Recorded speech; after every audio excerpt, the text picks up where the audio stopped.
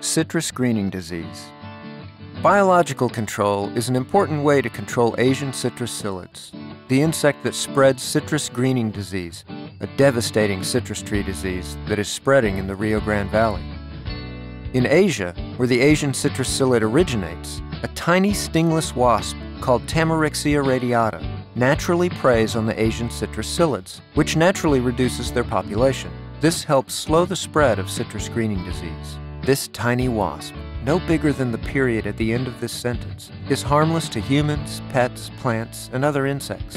It only feeds on young Asian citrus psyllids, preventing them from reaching adulthood, and reduces the Asian citrus psyllid population, which can help protect our citrus trees from citrus greening disease. Trained teams of researchers are releasing Tamarixia onto citrus trees across the Rio Grande Valley and are also using lemon and lime trees to set up rearing cages, which can produce 20 times more Tamarixia than a traditional greenhouse cage.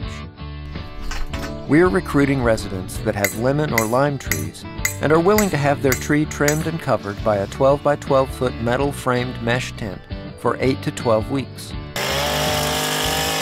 First, they trim the tree, then place the frame over it and wait 3 to 4 weeks.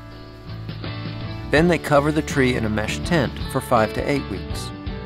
Once the tent is removed, an estimated 12,000 Tamarixia will be released on their mission to hunt down and destroy Asian citrus psyllids.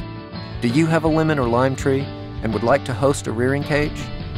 Call 956 968 8067 or visit www.citrusalert.com to learn more.